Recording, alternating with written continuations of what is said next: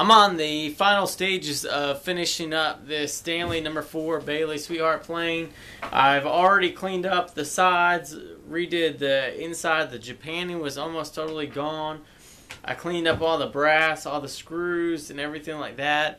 I tried a apple cider vinegar this time and it worked okay, but I think the next time I'm going to do it, I'm going to go ahead with the regular white vinegar that you can get at the store. You can find a link to a video where I did a test on that. Here it is with the iron cap on here. The it looks really good. I had to do some detailing right here where the Stanley is because it was pretty rusted and I wasn't sure how well the Stanley would actually read, but it ended up turning out quite well. So tonight what I'm going to show you guys to do how to do is go ahead and flatten the sole of your plane, talk about why it's important, where you want to make sure it's the flattest part, and just a different technique that I use to flatten my soles. Okay, so the things that you're going to first off need is some sandpaper, a flat surface. I use just a thing of glass. You can use granite, tile, whatever you want, as long as you know that it is flat.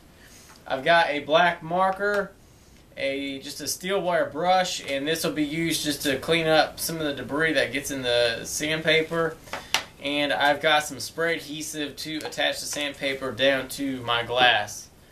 Uh, another helpful thing you might want is a scraper because after you get done using the paper, tends to leave the glue residue on there and you can scrape it off very easy with a little scraper.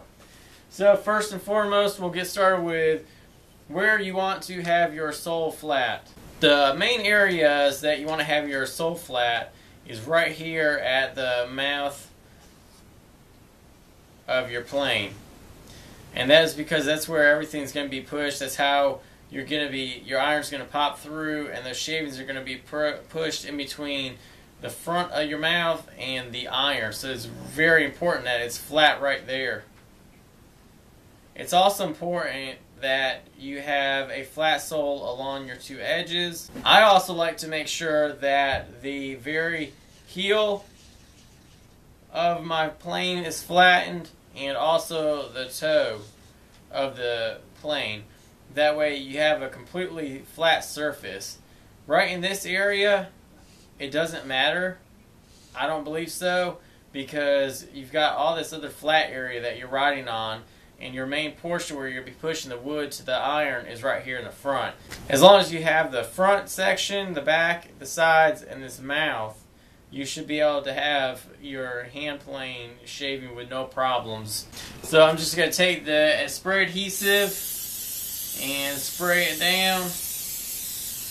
And I'll leave where my fingers are alone so that I can go ahead and peel that part up. After I get done with the 150 grit, I'm going to go ahead and switch up to the 500. And that's just to kind of get it a little bit shinier of, uh, of a surface. Right now, I'm currently just waiting for this to become a little bit tacky. I put quite a bit on. That way I made sure that would stick. And if I was doing a joiner plane, I would actually want to make sure that the entire surface is completely flat because you are joining on edges.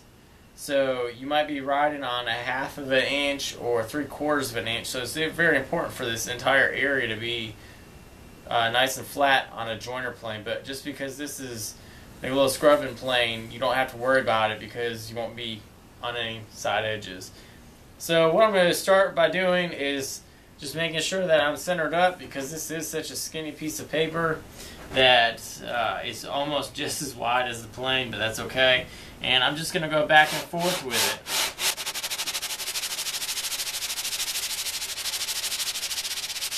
Alright, so I'm just going to check it real quick just to see what it looks like and most of it's already starting to to come off you can see.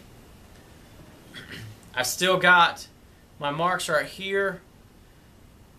I've got a mark on this side but my mark on this side is gone and the mark on the heel is gone. I have a little bit still on the toe so we're just gonna keep on working until all those marks are gone. So here's the bottom of it you can see it's it's got quite a few pits in it But the way I knew that it was completely flat is I drew back on with the Sharpie and I made three passes and along the sides I had one line along the side, one along that side, and two in the middle.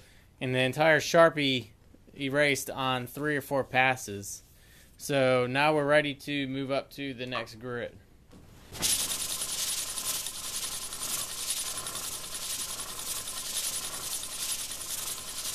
So after I got done with that 500, I went ahead and just wiped it up a little bit, put some water on a rag, and just wiped it down.